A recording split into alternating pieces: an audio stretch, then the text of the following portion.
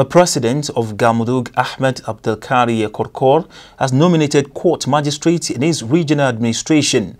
A circular issued by Galmudug presidency that reached the local press shows list of people nominated in the judiciary system.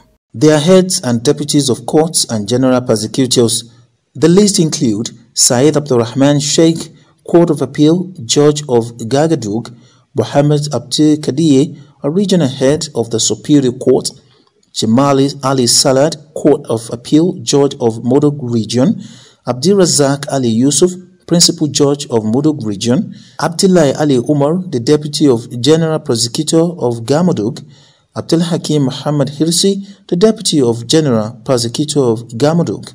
These nominations came as to further the ongoing justice reform and response to the president's election campaign of which he promised to build or reform the underperforming departments, including justices of Galmudug Regional Administration. The justice wasn't functioning well due to lack of experience and knowledge, and the people were waiting with a heavy heart that the president will soon nominate justice cadres.